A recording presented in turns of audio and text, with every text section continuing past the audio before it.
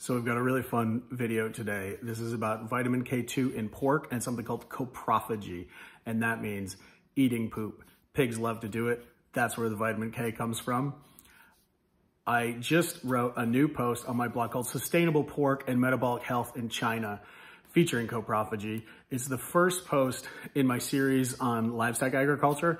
I'm very excited about the series. I want to talk about the value of livestock agriculture, both ecologically as well as from a health perspective, but also from an economic perspective and a historical perspective, and try to understand things like why do we raise? Why why are pigs raised in China? Why is the diet of China white rice and pork? Because there's a reason. It all works when you know it. Why is the dairy cow the main thing on the homestead? Questions like these really dig into why and how it all fits together. I'm Brad Marshall, author of fireinabottle.net. I am also the founder of firebrandmeats.com. At Firebrand Meats, we make pork that is low in polyunsaturated fat.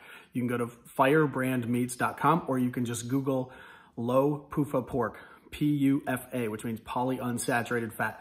We make, we, we actually use waste products from the manufacture of pea protein isolate that's used in a lot of uh, food for humans.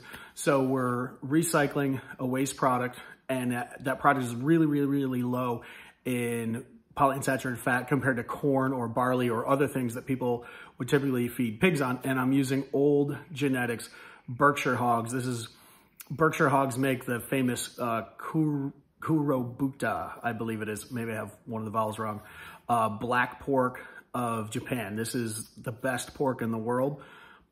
I'm just actually, uh, shipping costs have gone up a lot. And so unfortunately I've had to raise some prices on some of the smaller packages. I'm just offering a larger freezer filler box to kind of offset some of those shipping price increases. It's a 30 pound box and it, it's gonna be, it's gonna be fantastic. Uh, we've got thick cut bacon in there. We've got thick cut jowl bacon, which if you've ever had jowl bacon, it's it's awesome. Uh, I've got some, there's gonna be links of fresh sausage. There's gonna be ground pork. And of course, there's gonna be pork steaks, pork chops, and uh, rump steaks, which are actually out of the back leg, which often gets cured into ham, but the rump steaks are actually really good, uh, nice little cuts of pork that I really like. And that 30 pound box for the first 50 people that order I'm gonna give a $30 discount to. So go to Firebrand Meats, buy the freezer filler. When you go to the checkout, just type in 30, T-H-I-R-T-Y, and you'll get $30 off and be one of the first people to support the new, uh, the new boxes. And it's gonna be awesome. Back to the article. So what I want to focus on is the vitamin content of pork. And the reason I wrote this article is that so pigs were domesticated in China as well as in Turkey. So pigs have been domesticated in multiple places. They've been around in China for 10,000 years, roughly, as domesticated animals and, and as wild animals before that. Pigs and rice are basically the staple foods of China, or pork and rice. And there's a reason for that. Pork, pigs live on the homestead. They can recycle the rice straw into manure to fertilize the next year's rice crop. They, the B vitamins in pork perfectly complement the vitamins in white rice. A problem with white rice is that it's lacking in thiamine. Pork is the single biggest source of thiamine in the world. The Chinese, they take their white rice, they they polish it, which means they remove the bran. They feed the bran to the pigs. Now the bran is high in thiamine, but the Chinese stopped eating the rice bran. You know, that would be brown rice, still has the bran on it. But they don't eat that, they eat white rice. And it's probably because the lectin content, the phytic acid content, there's some bad things in the bran that if you eat too much of it, it's a problem. So they've gone to feed eating white rice. They feed the bran to the pigs. The pigs eat that white rice. They concentrate the thiamine out of it. And then the Chinese have a little bit of pork with their, uh, with their white rice. And it complements the the vitamin content. And pork also helps with vitamin B3, that's niacin, and vitamin uh, B2, that's riboflavin. And interestingly, riboflavin is FAD. So that is when we talk about FADH2 inputs to the electron transport chain. That's complex two. So complex two requires FAD to, to, to function in your mitochondrial electron transport chain. A lot of other enzymes use FAD internally as an input. Uh, niacin, that's NAD. People who read the blog, you've heard me talk about NAD, uh, you know, ad nauseum at this point. And then thiamine is a necessary cofactor in basically all of your metabolism, especially pyruvate dehydrogenase, alpha ketoglutarate dehydrogenase. Thiamine is crucial for metabolic function. And so if you don't have those three, if you don't have those three vitamins, B1, B2, B3, your metabolism is just not going to work. And so, and so that little, so the traditional Chinese farmers couldn't afford a lot of meat, but that little bit, that two ounces of pork a day, really went a long way towards fulfilling their, their B vitamin status. And I talk about all of that in the latest article, Sustainable Pork and Metabolic Health in China. Now I want to talk about vitamin K2. And this is the really fun part. So pigs often on the farm have they have jobs. And this is and this is traditional agriculture at its best. And and you see the role not that that livestock on the farm is not just a food, it's also doing a job or it's doing many jobs. And I, and I already said one of the things the pigs do is they recycle the rice bran into usable food. They get the thiamine out of the, out of the rice bran. They take the rice straw. They use it as bedding. They poop on it. That becomes the fertilizer for the next year's rice crop. But the other thing that pigs have traditionally been used for in China is what is known as a latrine pig, which is exactly what it sounds like. So the outhouses in China for a long time, around 2,000 years, have been built so that the business end of the latrine is accessible to the hogs. And they have an outdoor, they have an outdoor pen and the outhouse is elevated above it. And what happens is pigs love to eat poop, as it turns out. I kept pigs and cows together in a field and pigs eat, they have no favorite food than fresh, hot cow poop. As gross as that sounds, they love it. they're, they're unique in that way. Um, but the pigs will do the same thing with human excrement. Uh, they will clean it right out of the latrines and then mix that, and that, that becomes part of their manure. And the beautiful thing about that is the human waste gets recycled into hog manure, which is now safe to use in the fields without without the the the the path the potential pathogen burden if you were to take straight human manure and spread it into the rice fields. So pigs are really performing that's another service performed by pigs. The cool thing about that is that vitamin K2 is largely formed by bacteria in your gut. There's vitamin K1 that we can eat, and that comes from green plants, etc vitamin K2 is different and it has a lot of other functions and it can be made by bacteria. And there's a lot of different versions of vitamin K2. There's what's called MK4, MK7, MK9, MK10. And the vitamin K2 itself has a ring structure, which is used to stabilize electrons, free radicals, things like that.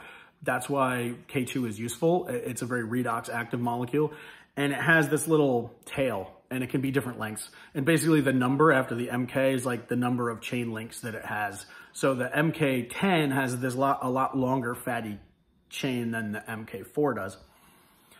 The bacteria make a lot of MK10 and it turns out that when pigs, so that, that MK10 is not well absorbed in your gut, but if you uh, use the coprophagy route, uh, the pigs end up absorbing a lot of the MK10 out of the excrement that they consume. Um, that's just how it is.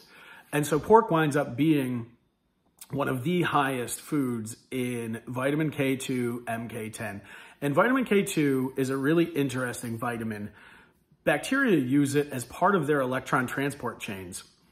In about 2010, it was reported that uh, in Drosophila, which are fruit flies, I worked in a fruit fly lab in college, so I'm always excited when it's Drosophila. Uh, Drosophila, they can use vitamin K2 in their electron transport chain. And basically it's, it's working in parallel with uh, enzyme co-Q, coenzyme Q10 to trans, transfer the electrons through the electron transport chain and kind of keep your mitochondrial health going. Uh, there was a second paper that came out a couple years later that said that didn't happen, that vitamin K2 was not used as an electron carrier in mammalian cells, but they only used vitamin K2 MK4. And there are longer chain MK2s that are used in pork. Now, vitamin K2 in humans has been shown the more vitamin K2 you eat, the less likely you are to develop diabetes. And this was shown in a very large scale study in Europe. I think there were 80,000 people that they followed over time and showed that there's a very dramatic reduction with vitamin K2 and diabetes risk. Uh, another study uh, gave vitamin K2 supplements to athletes, uh, young athletes, and it improved their peak cardiac output by, I think, 12%. In recent years, 2020, um, 2021, 2022, uh, a series of papers came out showing that so if you take these these mice and you put them on a high fat diet, they develop insulin resistance. They have uh, low ATP production. Their their muscle fibers um, switch to a, a, a, less oxidative type, so so more glycolytic. So the muscle fibers are less capable of using oxygen, and that is the same thing that happens in human obesity. Um, obese humans and diabetic humans have less, their muscles are less able to burn oxygen. In a high fat diet mice, the same thing happens. If you supplement those mice on that high fat diet with vitamin K2, it reverses all of those trends. It reverses the, the, the insulin resistance, it increases ATP levels, and it, it uh, prevents the change of muscle fibers from oxidative fibers to glycolytic fibers. So vitamin K2, very recently, 2020 and I think 2022, these papers uh, came out, show huge improvements in metabolic, you know, in, in all metabolic features compared to mice fed this high-fat diet that causes obesity. Lastly, uh, a paper just came out January of 2022 showing that uh, a lot of the problems with aging in rats could be minimized or eliminated with vitamin K2 supplementation. So vitamin K2 is, is really interesting. It seems to really affect mitochondrial function.